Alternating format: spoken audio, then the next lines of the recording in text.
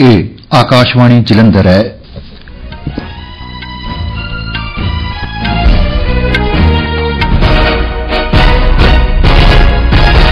ਔਰ ਮੈਂ ਅਮਨਦੇਵ ਪਹਿਲਾਂ ਖਾਸ ਖਬਰਾਂ ਪ੍ਰਧਾਨ ਮੰਤਰੀ ਨਰਿੰਦਰ ਮੋਦੀ ਨੇ ਅੱਜ ਮੱਧ ਪ੍ਰਦੇਸ਼ ਵਿੱਚ 17000 ਕਰੋੜ ਰੁਪਏ ਦੇ ਕਈ ਵਿਕਾਸ ਪ੍ਰੋਜੈਕਟਾਂ ਦਾ ਨੀਂਹ ਪੱਥਰ ਰੱਖਿਆ ਤੇ ਰਾਸ਼ਟਰ ਨੂੰ ਸਮਰਪਿਤ ਕੀਤੇ ਨੇ।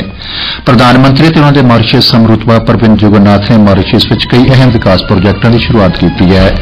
ਮੰਤਰੀ ਮੰਡਲ ਨੇ 1 ਕਰੋੜ ਘਰਾਂ ਵਿੱਚ ਛੱਤ ਵਾਲੇ ਸੋਲਰ ਸਿਸਟਮ ਸਥਾਪਿਤ ਕਰਨ ਲਈ ਪੀਐਮ ਸੂਰੇਗਰ ਮੁਫਤ ਬਿਜਲੀ ਯੋਜਨਾ ਨੂੰ ਮਨਜ਼ੂਰੀ ਦੇ ਦਿੱਤੀ ਹੈ।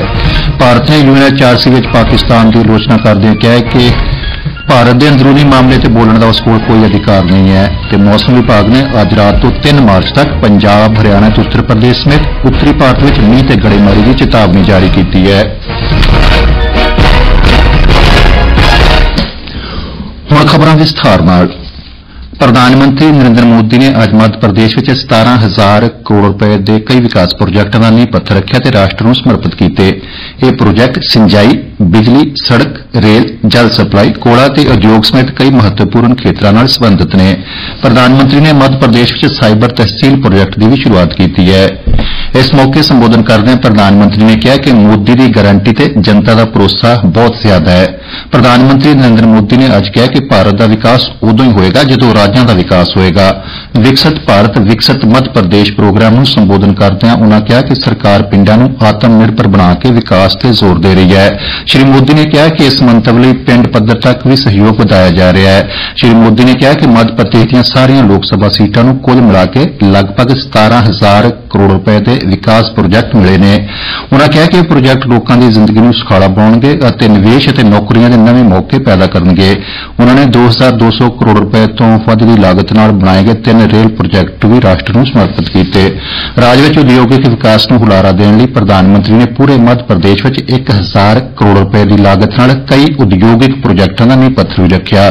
ਮੱਧ ਪ੍ਰਦੇਸ਼ ਵਿੱਚ ਬਿਜਲੀ ਖੇਤਰ ਨੂੰ ਮਜ਼ਬੂਤ ਕਰਨ ਲਈ ਪ੍ਰਧਾਨ ਮੰਤਰੀ ਨੇ ਪੰਨਾ ਰਾਇਸੇਨ ਛਿੰਦਵਾੜਾ ਅਤੇ ਨਰਮਦਾਪੁਰਮ ਜ਼ਿਲ੍ਹਿਆਂ ਵਿੱਚ ਸਥਿਤ 6 ਸਬ ਸਟੇਸ਼ਨਾਂ ਦਾ ਨੀਂਹ ਪੱਥਰ ਰੱਖਿਆ। ਸ਼੍ਰੀ ਮੋਦੀ ਨੇ ਅੰਮ੍ਰਿਤ 2.0 ਤਹਿਤ ਲਗਭਗ 880 ਕਰੋੜ ਰੁਪਏ ਦੇ ਵੱਖ-ਵੱਖ ਪ੍ਰੋਜੈਕਟਾਂ ਦਾ ਨੀਂਹ ਪੱਥਰ ਰੱਖਿਆ ਤੇ ਖਰਗੋਨ ਵਿੱਚ ਜਲ ਸਪਲਾਈ ਨੂੰ ਵਧਾਉਣ ਲਈ ਪ੍ਰੋਜੈਕਟ ਰਾਸ਼ਟਰ ਨੂੰ ਸਮਰਪਿਤ ਕੀਤਾ। ਪ੍ਰਧਾਨ ਮੰਤਰੀ ਨਰਿੰਦਰ ਮੋਦੀ ਅਤੇ ਮਾਰੀਸ਼ੀਅਸ ਦੇ ਪ੍ਰਧਾਨ ਮੰਤਰੀ ਪ੍ਰਵਿੰਦ ਜਗਨਨਾਥ ਨੇ ਅੱਜ ਸਾਂਝੇ ਤੌਰ ਤੇ ਮਾਰੀਸ਼ੀਅਸ ਦੇ ਅਗਾਲੇਕਾ ਟਾਪੂ ਤੇ ਵਿਕਾਸ ਪ੍ਰੋਜੈਕਟਾਂ ਦਾ ਉਦਘਾਟਨ ਕੀਤਾ ਹੈ। ਦੋਹਾਂ ਨੇਤਾਵਾਂ ਨੇ ਵੀਡੀਓ ਕਾਨਫਰੰਸਿੰਗ ਰਾਹੀਂ ਪ੍ਰੋਜੈਕਟਾਂ ਦਾ ਉਦਘਾਟਨ ਕੀਤਾ, ਜਿਸ ਵਿੱਚ ਨਵੀਂ ਹਵਾਈ ਪੱਟੀ ਤੇ ਸੇਂਟ ਜੇਮਸ ਜੈਟੀ ਸਮੇਤ 6 ਵਿਕਾਸ ਪ੍ਰੋਜੈਕਟ ਸ਼ਾਮਲ ਨੇ। ਇਹ ਸਹੂਲਤਾਂ ਸਮੁੰਦਰੀ ਸੁਰੱਖਿਆ ਨੂੰ ਮਜ਼ਬੂਤ ਕਰਦੇ ਹੋਏ ਹਵਾਈ ਤੇ ਸਮੁੰਦਰੀ ਸੰਪਰਕ ਨੂੰ ਵਧਾਉਣਗੀਆਂ। ਇਸ ਨਾਲ ਅਗਾਲੇਕਾ ਟਾਪੂ ਦੇ ਸਮਾਜਿਕ, ਆਰਥਿਕ ਵਿਕਾਸ ਨੂੰ ਵੀ ਹੁਲਾਰਾ ਮਿਲੇਗਾ। ਇਸ ਮੌਕੇ ਬੋਲਦਿਆਂ ਪ੍ਰਧਾਨ ਮੰਤਰੀ ਨਰਿੰਦਰ ਮੋਦੀ ਨੇ ਭਾਰਤ ਮਾਰੀਸ਼ੀਅਸ ਸਬੰਧਾਂ ਨੂੰ ਜੀਵੰਤ ਅਤੇ ਵਿਲੱਖਣ ਕਰਾਰ ਦਿੱਤਾ। ਉਨ੍ਹਾਂ ਕਿਹਾ ਕਿ ਮਾਰੀਸ਼ੀਅਸ ਭਾਰਤ ਦੀ ਨੇਬਰਹੁੱਡ ਨੀਤੀ ਵਿੱਚ ਇੱਕ ਮਹੱਤਵਪੂਰਨ ਭਾਈਵਾਲ ਹੈ। ਸਰਕਾਰ ਨੇ 75021 ਕਰੋੜ ਰੁਪਏ ਦੇ ਕੁੱਲ ਖਰਚੇ ਨਾਲ 1 ਕਰੋੜ ਘਰਾਂ ਵਿੱਚ ਛੱਤਾਂ ਤੇ ਸੋਲਰ ਸਿਸਟਮ ਲਾਉਣ ਲਈ ਪ੍ਰਧਾਨ ਮੰਤਰੀ ਸੂਰਿਆ ਘਰ ਮੁਫਤ ਬਿਜਲੀ ਯੋਜਨਾ ਨੂੰ ਮਨਜ਼ੂਰੀ ਦੇ ਦਿੱਤੀ ਹੈ। ਨਵੀਂ ਦਿੱਲੀ ਵਿੱਚ ਕੈਬਨਿਟ ਮੀਟਿੰਗ ਤੋਂ ਬਾਅਦ ਮੀਡੀਆ ਨੂੰ ਜਾਣਕਾਰੀ ਦਿੰਦਿਆਂ ਸੂਚਨਾ ਤੇ ਪ੍ਰਸਾਰਣ ਮੰਤਰੀ ਅਨੁਰਾਗ ਸਿੰਘ ਠਾਕੁਰ ਨੇ ਕਿਹਾ ਕਿ 1 ਕਰੋੜ ਘਰਾਂ ਨੂੰ 300 ਯੂਨਿਟ ਮੁਫਤ ਬਿਜਲੀ ਮਿਲੇਗੀ ਅਤੇ ਲਾਭਪਾਤਰੀ 15000 ਰੁਪਏ ਦੀ ਆਮਦਨ ਕਮਾ ਸਕਣਗੇ। ਇਸ ਸਕੀਮ ਰਾਹੀਂ ਪਰਿਵਾਰ ਬਿਜਲੀ ਬਿੱਲਾਂ ਦੀ ਬਚਤ ਕਰਨ ਦੇ ਨਾਲ-ਨਾਲ ਵੰਡ ਕੰਪਨੀਆਂ ਨੂੰ ਵਾਧੂ ਬਿਜਲੀ ਦੀ ਵਿਕਰੀ ਰਾਹੀਂ ਵਾਧੂ ਆਮਦਨ ਕਮਾ ਸਕਣਗੇ। ਤਜਵੀਜ਼ਸ਼ੁਦਾ ਯੋਜਨਾ ਦੇ ਨਤੀਜੇ ਵਜੋਂ ਰਿਹਾਇਸ਼ੀ ਖੇਤਰ ਵਿੱਚ ਰੂਫਟਾਪ ਸੋਲਰ ਰਾਹੀਂ 30 ਗੀਗਾਵਾਟ ਸੂਰਜੀ ਸਮਰੱਥਾ ਦਾ ਵਾਧਾ ਹੋਏਗਾ ਇਹ ਯੋਜਨਾ ਨਿਰਮਾਣ ਲੌਜਿਸਟਿਕਸ ਸਪਲਾਈ ਚੇਨ ਵਿਕਰੀ ਸਥਾਪਨਾ ਅਤੇ ਹੋਰ ਸੇਵਾਵਾਂ ਵਿੱਚ ਲਗਭਗ 17 ਲੱਖ ਸਿੱਧੀਆਂ ਨੌਕਰੀਆਂ ਪੈਦਾ ਕਰੇਗੀ आज माननीय प्रधानमंत्री जी के अध्यक्षता में कैबिनेट की बैठक हुई और उसमें जो महत्वपूर्ण निर्णय लिए गए उनमें से पहला है ministry of new and renewable energy के क्षेत्र का पीएम सूर्य घर मुफ्त बिजली योजना आज इसको मंजूरी मिली है। एक करोड़ घरों को 300 यूनिट मुफ़्त बिजली मिलेगी और ये एक करोड़ परिवारों को ही मुफ़्त बिजली के 300 यूनिट मिलने के बाद पंद्रह हज़ार रूपया सालाना आमदन भी होगी। एक बड़ी क्रांतिकारी योजना है जहाँ पर एक करोड़ घर यानी कि लगभग पाँच से छह करोड़ लोगों के जीवन में सीधा प्रभाव पड़ेगा। ਕੇਂਦਰ ਨੇ ਫਾਸਫੋਰਸ ਅਤੇ ਪੋਟਾਸ਼ ਖਾਦਾਂ ਤੇ ਸੋਨੀ ਦੇ ਸੀਜ਼ਨ 2024 ਲਈ ਪੌਸ਼ਟਿਕ ਤੱਤ ਆਧਾਰਿਤ ਸਬਸਿਡੀ ਦਰਾਂ ਅਤੇ ਐਨਬੀਐਸ ਸਕੀਮ ਤਹਿਤ ਤਿੰਨ ਨਵੇਂ ਖਾਦ ਗ੍ਰੇਡਾਂ ਨੂੰ ਸ਼ਾਮਲ ਕਰਨ ਨੂੰ ਵੀ ਮਨਜ਼ੂਰੀ ਦਿੱਤੀ ਹੈ ਇਸ ਤਹਿਤ ਕਿਸਾਨਾਂ ਨੂੰ ਸਬਸਿਡੀ ਸਸਤੇ ਅਤੇ ਵਾਜਬ ਭਾਅ ਤੇ ਖਾਦਾਂ ਦੀ ਉਪਲਬਧਤਾ ਨੂੰ ਯਕੀਨੀ ਬਣਾਇਆ ਜਾਏਗਾ न्यूट्रेंट बेस्ड सब्सिडी एनबीएस उसके रेट जो हमने फॉस्फेटिक और पोटेशिक जो पी एंड के फर्टिलाइजर्स के लिए है वो खरीफ क्रॉप के लिए एक अप्रैल 2024 से 30 सितंबर 2024 तक के लिए निर्धारित किए हैं। अंतर्राष्ट्रीय बाजारों में उर्वकों की बड़ी दरों का प्रभाव किसानों पर ना पड़े इसलिए निर्णय लिया गया है कि जिस दाम पर पिछले साल ये मिलते थे, उतने ही दाम पर इस साल भी मिलेंगे। कोई बढ़ोतरी नहीं होगी। एक रुपया भी दाम नहीं बढ़ाया गया है। मीडिया ने जानकारी देंद्या केंद्रीय ਮੰਤਰੀ ਅਸ਼ਵਨੀ ਵੈਸ਼ਨਵ ਨੇ ਕਿਹਾ ਕਿ ਪ੍ਰਧਾਨ ਮੰਤਰੀ ਨੇ ਭਾਰਤ ਵਿੱਚ ਸੈਮੀ ਕੰਡਕਟਰਾਂ ਤੇ ਡਿਸਪਲੇ ਮੈਨੂਫੈਕਚਰਿੰਗ ਇਕੋਸਿਸਟਮ ਦੇ ਵਿਕਾਸ ਤਹਿਤ ਤਿੰਨ ਸੈਮੀ ਕੰਡਕਟਰ ਯੂਨਿਟਾਂ ਦੀ ਸਥਾਪਨਾ ਨੂੰ ਵੀ ਮਨਜ਼ੂਰੀ ਦਿੱਤੀ ਹੈ। ਤਿੰਨੋਂ ਯੂਨਿਟ ਅਗਲੇ 100 ਦਿਨਾਂ ਦੇ ਅੰਦਰ ਨਿਰਮਾਣ ਸ਼ੁਰੂ ਕਰ ਦੇਣਗੇ। ਇਹ ਖਬਰਾਂ ਤੁਸੀਂ ਆਕਾਸ਼ਵਾਣੀ ਜਲੰਧਰ ਤੋਂ ਸੁਣ ਰਹੇ ਹੋ। ਭਾਰਤ ਨੇ ਕਿਹਾ ਹੈ ਕਿ ਸਮੁੱਚਾ ਕੇਂਦਰ ਸ਼ਾਸਤ ਪ੍ਰਦੇਸ਼ ਜੰਮੂ ਕਸ਼ਮੀਰ ਤੇ ਲਦਾਖ, ਭਾਰਤ ਦਾ ਅਨਿੱਖੜਵਾਂ ਤੇ ਟੁੱਟ ਅੰਗ ਨੇ ਅਤੇ ਇਨ੍ਹਾਂ ਵਿੱਚ ਸਮਾਜਿਕ, ਆਰਥਿਕ ਵਿਕਾਸ ਅਤੇ ਚੰਗੇ ਸ਼ਾਸਨ ਨੂੰ ਯਕੀਨੀ ਬਣਾਉਣ ਲਈ ਭਾਰਤ ਦੁਆਰਾ ਚੁੱਕੇ ਗਏ ਕਦਮ ਸੰਵਿਧਾਨਕ ਅਨੁਸਾਰ ਨੇ। ਬੁੱਧਵਾਰ ਨੂੰ ਸੰਯੁਕਤ ਰਾਸ਼ਟਰ ਮਨੁੱਖੀ ਅਧਿਕਾਰ ਕਮਿਸ਼ਨ ਦੇ 55ਵੇਂ ਨਿਯਮਤ ਸਮਾਗਮ ਮੌਕੇ ਜਵਾਬ ਦੇ ਅਧਿਕਾਰ ਦਾ ਇਸਤੇਮਾਲ ਕਰਦਿਆਂ ਫਸਟ ਸੈਕਟਰੀ ਅਨੁਪਮਾ ਸਿੰਘ ਨੇ ਕਿਹਾ ਕਿ ਜੰਮੂ ਕਸ਼ਮੀਰ ਭਾਰਤ ਦਾ ਅੰਦਰੂਨੀ ਮਾਮਲਾ ਹੈ। ਪਾਕਿਸਤਾਨ ਕੋਲ ਭਾਰਤ ਦੇ ਅੰਦਰੂਨੀ ਮਾਮਲਿਆਂ ਤੇ ਬੋਲਣ ਲਈ ਕੋਈ ਅਧਿਕਾਰ ਨਹੀਂ ਹੈ। ਪਾਕਿਸਤਾਨ ਵੱਲੋਂ ਭਾਰਤ ਬਾਰੇ ਲੰਬੇ ਸਮੇਂ ਤੱਕ ਕੀਤੇ ਗਏ ਜ਼ਿਕਰ ਬਾਰੇ ਉਨ੍ਹਾਂ ਕਿਹਾ ਕਿ ਇਹ ਬਹੁਤ ਅਫਸੋਸਨਾਕ ਹੈ ਕਿ ਕੌਂਸਲ ਦੇ ਫੋਰਮ ਨੂੰ ਇੱਕ ਵਾਰ ਫਿਰ ਭਾਰਤ ਬਾਰੇ ਝੂਠੇ ਇਲਜ਼ਾਮਾਂ ਦਾ ਪ੍ਰਚਾਰ ਕਰਨ ਲਈ ਵਰਤਿਆ ਗਿਆ ਹੈ। ਪੱਛਮੀ ਬੰਗਾਲ ਦੀ ਸੀਆਈਡੀ ਨੇ ਅੱਜ ਉੱਤਰੀ ਚੌਵੀ ਪਰਗਨਾ ਜ਼ਿਲ੍ਹੇ ਦੇ ਮੀਨਾ ਖਾਨ ਤੋਂ ਗ੍ਰਿਫਤਾਰ ਕੀਤੇ ਗਏ ਟੀਐਮਸੀ ਨੇਤਾ ਸ਼ੇਖ ਸ਼ਾਹਜਹਾਂ ਖਿਲਾਫ ਦਰਜ ਕੇਸਾਂ ਦੀ ਜਾਂਚ ਆਪਣੇ ਹੱਥ ਵਿੱਚ ਲੈ ਲਈ ਹੈ।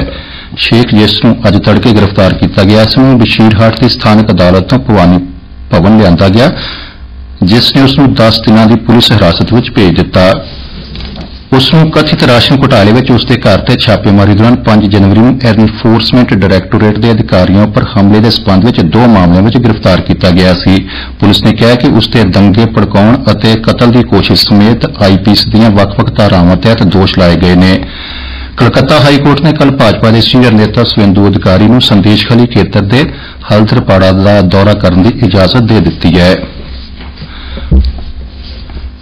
ਪੰਜਾਬ ਬੀਜੇਪੀ ਨੇ ਪਾਰਟੀ ਦੇ ਕੌਮੀ ਪ੍ਰਧਾਨ ਜਗਤ ਪ੍ਰਕਾਸ਼ ਨੱਡਾ ਦੀ ਮਨਜ਼ੂਰੀ ਨਾਲ 19 ਮੈਂਬਰੀ ਸੂਬਾ ਚੋਣ ਪ੍ਰਬੰਧਨ ਕਮੇਟੀ ਦਾ ਗਠਨ ਕੀਤਾ ਹੈ। ਪੰਜਾਬ ਭਾਜਪਾ ਦੇ ਪ੍ਰਧਾਨ ਸੁਨੀਲ ਜਾਖੜ ਕਮੇਟੀ ਦੇ ਪ੍ਰਧਾਨ ਹੋਣਗੇ। ਕੌਮੀ ਕਾਰਜਕਾਰਨੀ ਮੈਂਬਰ ਕੈਪਟਨ ਅਮਰਿੰਦਰ ਸਿੰਘ, ਸੰਸਦੀ ਬੋਰਡ ਦੇ ਮੈਂਬਰ ਇਕਬਾਲ ਸਿੰਘ ਲਾਲਪੁਰਾ, ਕੇਂਦਰੀ ਰਾਜ ਮੰਤਰੀ ਸੋਮ ਪ੍ਰਕਾਸ਼, ਕੌਮੀ ਜਨਰਲ ਸਕੱਤਰ ਤਰੁਣ ਚੁੱਗ, ਕੌਮੀ ਕਾਰਜਕਾਰਨੀ ਮੈਂਬਰ ਅਸ਼ਵਨੀ ਸ਼ਰਮਾ, ਅਵਿਨਾਸ਼ ਰਾਏ ਖੰਨਾ ਤੇ ਹਰਜੀਤ ਸਿੰਘ ਗਰੇਵਾਲ, ਜਥੇਬੰਦਕ ਜਨਰਲ ਸਕੱਤਰ ਸ਼੍ਰੀ ਮੰਤਰੀ ਸ੍ਰੀ ਨਵਾਸੁਲੂ ਸੂਬਾ ਜਨਰਲ ਸਕੱਤਰ ਰਾਕੇਸ਼ ਰਠੌਰ ਦਿਆਲ ਸਿੰਘ ਸੋਢੀ, ਅਨਿਲ ਸਰੀਨ, ਡਾਕਟਰ ਜਗਮੋਹਨ ਸਿੰਘ ਰਾਜੂ ਤੇ ਪਰਮਿੰਦਰ ਬਰਾੜ, ਮਹਿਲਾ ਮੋਰਚਾ ਦੀ ਸੂਬਾ ਪ੍ਰਧਾਨ ਜੈ ਇੰਦਰ ਕੌਰ, ਕੌਮੀ ਮੀਤ ਪ੍ਰਧਾਨ ਸੋਦਾਨ ਸਿੰਘ, ਸੂਬਾ ਇੰਚਾਰਜ ਵਿਜੇ ਰੁਪਾਨੀ ਤੇ ਸਹਿ ਇੰਚਾਰਜ ਡਾਕਟਰ ਨਰਿੰਦਰ ਸਿੰਘ ਰੈਣਾ ਨੂੰ ਇਸ ਵਿੱਚ ਸ਼ਾਮਲ ਕੀਤਾ ਗਿਆ ਹੈ। ਚੋਣਾਂ ਵਿੱਚ ਨੌਜਵਾਨਾਂ ਦੀ ਸ਼ਮੂਲੀਅਤ ਨੂੰ ਯਕੀਨੀ ਬਣਾਉਣ ਲਈ ਇੱਕ ਵਿਆਪਕ ਵੋਟਰ ਜਾਗਰੂਕਤਾ ਮੁਹਿੰਮ, ਮੇਰਾ ਪਹਿਲਾ ਵੋਟ ਦੇਸ਼ ਕੇ ਲਈ ਦੇਸ਼ ਭਰ ਦੀਆਂ ਵੱਖ-ਵੱਖ ਉੱਚ ਸਿੱਖਿਆ ਸੰਸਥਾਵਾਂ ਵਿੱਚ ਆਯੋਜਿਤ ਕੀਤੀ ਜਾ ਰਹੀ ਹੈ। ਪਹਿਲ ਕਦਮੀ ਦਾ ਮੁੱਖ ਉਦੇਸ਼ ਨੌਜਵਾਨਾਂ ਨੂੰ ਵੋਟ ਪਾਉਣ ਲਈ ਉਤਸ਼ਾਹਿਤ ਕਰਨਾ ਤੇ ਦੇਸ਼ ਦੇ ਵਡੇਰੇ ਭਲੇ ਲਈ ਵੋਟ ਦੀ ਮਹੱਤਤਾ ਨੂੰ ਦੱਸਣਾ ਹੈ। ਮੌਸਮ ਵਿਭਾਗ ਅਨੁਸਾਰ ਅੱਜ ਰਾਤ ਤੋਂ ਪੱਛਮੀ ਹਿਮਾਲਿਅਨ ਖੇਤਰ ਵਿੱਚ ਮੌਸਮ ਵਿੱਚ ਬਦਲਾਅ ਨਾਲ 3 ਮਾਰਚ ਤੱਕ ਪੰਜਾਬ, ਹਰਿਆਣਾ ਤੇ ਉੱਤਰ ਪ੍ਰਦੇਸ਼ ਸਮੇਤ ਉੱਤਰੀ ਭਾਰਤ ਵਿੱਚ ਗੜੇਮਾਰੀ ਤੇ ਮੀਂਹ ਪੈਣ ਦੀ ਸੰਭਾਵਨਾ ਹੈ। ਇਸ ਦੌਰਾਨ ਅੰਮ੍ਰਿਤਸਰ, ਤਰਨਤਾਰਨ, ਗੁਰਦਾਸਪੁਰ ਤੇ ਪਠਾਨਕੋਟ ਵਿੱਚ ਮੀਂਹ ਤੇਜ਼ ਹਵਾਵਾਂ ਤੇ ਗੜੇ ਪੈਣ ਦੀ ਸੰਭਾਵਨਾ ਹੈ। ਇਸ ਤੋਂ ਇਲਾਵਾ ਪੂਰੇ ਪੰਜਾਬ ਵਿੱਚ ਔਰੇਂਜ ਅਲਰਟ ਜਾਰੀ ਕੀਤਾ ਗਿਆ। ਕਿਸਾਨਾਂ ਨੂੰ ਕਣਕ ਅਤੇ ਹੋਰ ਹਾੜੀ ਦੀਆਂ ਫਸਲਾਂ ਨੂੰ ਪਾਣੀ ਦਿੰਦੇ ਸਮੇਂ ਸਾਵਧਾਨ ਰਹਿਣ ਦੀ ਸਲਾਹ ਦਿੱਤੀ ਗਈ ਹੈ। ਅੰਤ ਵਿੱਚ ਚੋਣਵੀਆਂ ਖਬਰਾਂ ਇੱਕ ਵਾਰ ਫੇਰ ਸੁਣ ਲਓ। ਪ੍ਰਧਾਨ ਮੰਤਰੀ ਨਰਿੰਦਰ ਮੋਦੀ ਨੇ ਅੱਜ ਮੱਧ ਪ੍ਰਦੇਸ਼ ਵਿੱਚ 17000 ਕਰੋੜ ਰੁਪਏ ਦੇ ਕਈ ਵਿਕਾਸ ਪ੍ਰੋਜੈਕਟਾਂ ਦਾ ਨੀਂਹ ਪੱਥਰ ਰੱਖਿਆ ਤੇ ਰਾਸ਼ਟਰ ਨੂੰ ਸਮਰਪਿਤ ਕੀਤੇ। ਪ੍ਰਧਾਨ ਮੰਤਰੀ ਤੇ ਉਹਨਾਂ ਦੇ ਮੌਰੀਸ਼ੀਅਸ ਹਮਰੁਤਬਾ ਪ੍ਰਵਿੰਦ ਜੁਗਨਾਥ ਨੇ ਮੌਰੀਸ਼ੀਅਸ ਵਿੱਚ ਕਈ ਅਹਿਮ ਵਿਕਾਸ ਪ੍ਰੋਜੈਕਟਾਂ ਦੀ ਸ਼ੁਰੂਆਤ ਕੀਤੀ ਹੈ। ਮੰਤਰੀ ਮੰਡਲ ਨੇ 1 ਕਰੋੜ ਘਰਾਂ ਵਿੱਚ ਛੱਤ ਵਾਲੇ ਸੋਲਰ ਸਿਸਟਮ ਸਥਾਪਿਤ ਕਰਨ ਲਈ ਪੀਐਮ ਸੂਰਿਆ ਘਰ ਮੁਫਤ ਬਿਜਲੀ ਯੋਜਨਾ ਨੂੰ ਮਨਜ਼ੂਰੀ ਦੇ ਦਿੱਤੀ ਹੈ। ਤੇ ਭਾਰਤ ਨੇ ਯੂਨਾ ਵਿੱਚ ਪਾਕਿਸਤਾਨ ਦੀ ਆਲੋਚਨਾ ਕਰਦਿਆਂ ਕਿਹਾ ਹੈ ਕਿ ਭਾਰਤ ਦੇ ਅੰਦਰੂਨੀ ਮਾਮਲੇ ਤੇ ਬੋਲਣ ਦਾ ਉਸ ਕੋਲ ਕੋਈ ਅਧਿਕਾਰ ਨਹੀਂ ਹੈ। ਇਸ ਦੇ ਨਾਲ ਹੀ ਆਕਾਸ਼ਵਾਣੀ ਤੋਂ ਖਬਰਾਂ ਦਾ ਇਹ ਬੁਲੇਟਿਨ ਖਤਮ ਹੁੰਦਾ ਹੈ।